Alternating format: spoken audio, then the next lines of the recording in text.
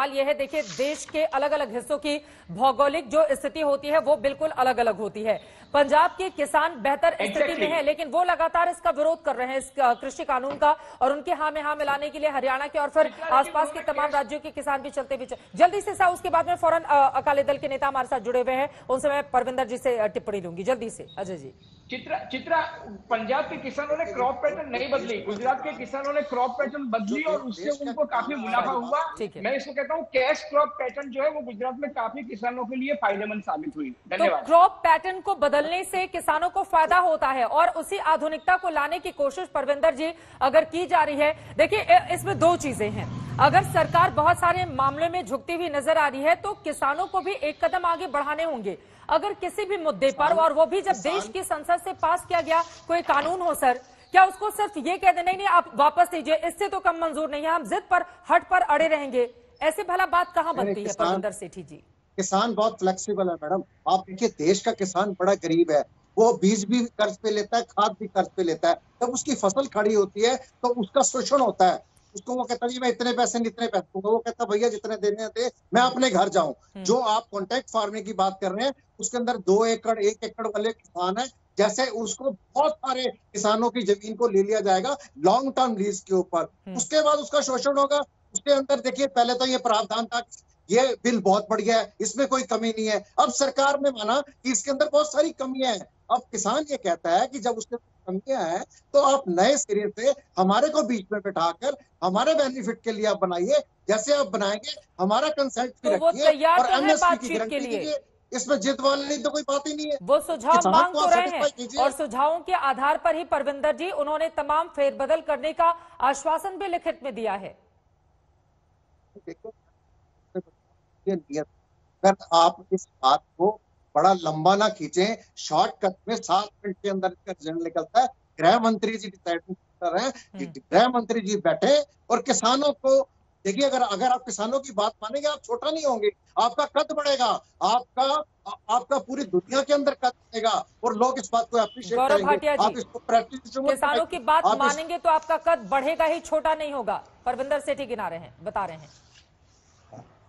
देखिए चित्रा जी, सबसे पहले तो हमारे देश में करीब 14 करोड़ 13 करोड़ किसान परिवार हैं और उत्तर प्रदेश, मध्य प्रदेश, महाराष्ट्र और बिहार, यहाँ पे ज़्यादा किसान परिवार ऐसा नहीं कहा जा सकता कि पूरे देश में किसान प्रदर्शन कर रहे हैं। केंद्र की सरकार सभी किसानों का हित जो है देखेगी। कई ऐसे किसान संगठन हैं जो समर्थन में भी सामने आए हैं।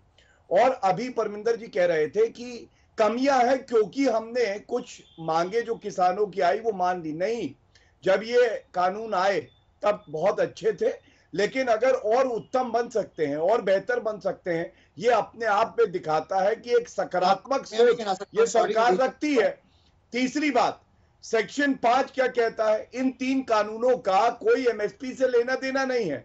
किसान मंडी में भी बेच सकता है और एक और मार्केट है जिसमें वो करार करेगा तो कह सकता है सेक्शन फाइव में कि हम एमएसपी के सौ रुपए ऊपर बेचेंगे। ये सेक्शन फाइव है। दूसरा सेक्शन आठ किसान की ज़मीन नहीं ली जा सकती किसी कीमत पे नहीं ली जा सकती। ये प्रोटेक्शन है किसान को। सेक्शन पंद्रह कहाँ पर रह गई? आप तमाम सेक्शन गौरव भाटिया गिना रहे हैं। उसके बावजूद वो किसान इतनी ठंड में भी अड़े हुए हैं। आपको पता है ना कि उत्तर कई इलाकों में ऊपरी बर्फबारी हुई है जिसकी ठंडी हवा इस वक्त पूरे दिल्ली एनसीआर को अपनी चपेट में लेकर रखा हुआ है उसने। किसान बीमार भी हो रहे हैं। उनको सुन अगर इतना ही तो आसान है सब ज़रूर मिलेगा। आपने तो फिर समझा पाने में कामयाब क्यों नहीं हो रहे हैं? समझाऊँगा अगर आप मेरी बात सुनेंगी तो। मेरी बात पूरी नहीं हुई मैंने सेक्शन पंद्रह की भी बात करना चाहता था। हम्म। जो कहता है कोई वसूली नहीं हो सकती। अब मैं आता हूँ। मान लीजिए एक वर्ग है कुछ किसान भाई बहन हैं जिनकी और उम्मीदें हैं मांगे हैं उनसे बातचीत चल रही है। इसका यह मतलब नहीं है कि भाई किसान का कानून आए वापस ले लो। सीए ये आए तो हम मानेंगे तय करेगा। ऐसे अगर किसानों से आपकी बातचीत चल रही है तो उसी दरमियान आप बोल देंगे टुकड़े टुकड़े गैंग तो आप बताइए भर- हाँ, भरोसा फिर सरकार पर कैसे होगा? मोदी मोदी मर जाए ये किसान है। शर्जील इमाम किसान है। आपको लगते होंगे चित्रा जी? अगर आपकी नज़रों में वो किसान है आपकी नज़र में नहीं मैंने तो सवाल पूछा ना गौरव भाटिया। आपने फिर वही बात कही। दोनों- दोनों तरफ़ से सवाल शर्जील इमाम उमर खालिद किसान नहीं है। हाँ। जान लीजिए बिल्कुल डंके की चोट पे कह रहा हूँ। मुजरिम है राजद्रोह में उन पे मुकदमे चल रहे हैं। एक एक साल से बेल नहीं मिली है हाईकोर्ट से। सुप्रीम कोर्ट ने मना कर दिया है। इनको आप किसान बता रहे हैं। नफरत की खेती करेंगे गेहूँ बोएँगे देश विरोधी और उसके बाद किसान बन के आ किसान? ये सवाल पूछिए ये सवाल क्या हाँ। जायज़ नहीं है? ये सवाल जायज़ नहीं है। अगर कुछ ऐसे लोगों की रिहाई की मांग के पोस्टर्स के साथ वहाँ पर लोग पहुँचेंगे उसका समर्थन किया जाएगा। प्रधानमंत्री नरेंद्र मोदी के लिए अभद्र भाषा का इस्तेमाल किया जाएगा और उसका सिरे से खंडन भी नहीं आएगा तो फिर किसानों को लेकर भी तो बहुत सारे सवाल खड़े ही होंगे। तो इसको लेकर आप लोग उल्टा बीजेपी को कह रहे हैं कि वो मैंने टुकड़े टुकड़े गैंग मैंने पहले बैठते ही सबसे पहले इस बात का खंडन किया था देश के प्रधानमंत्री का सम्मान होना चाहिए और उनके लिए अभद्र भाषा का हम कठोर शब्दों में निंदा करते हैं। पहली बात। दूसरी बात ये है आप मुद्दे को मत भटकाइए आप लोग? आप हम नहीं देते। ये देखिए एक एक बात बताइए। एक हज़ार आदमी का प्रदर्शन होता है सरकार सुखबीर सिंह बादल दस लाख किसान है दस लाख किसान बैठा हुआ है। सिंह बादल दस लाख किसान बैठा हुआ है। असली टुकड़े टुकड़े गैंग है इस पे उत्तर दीजिए। चलिए मैं आपसे पूछ रहा हूँ परमिंदर जी। ये आप सुखबीर सिंह बादल से बड़े नेता है बीजेपी टुकड़े टुकड़े गैंग है आपके नेता बता रहे हैं। क्या आप माफ़ी मांग रहे हैं टीवी पे बैठ के? वैसे चेहरा कोई और है आज तक पे चेहरा कोई और है। अब मेरे मेरा सुखबीर सिंह बादल। से बड़े नेता है हैं गौरव भाटिया जी गौरव भाटिया जी हाँ। मैं मैं बड़े सम्मान के साथ आपको मेरा मेरा आप जवाब सुन लीजिए। बिल्कुल आपको सुनूँगा भाई साहब। आत्ममंथन करने की ज़रूरत है।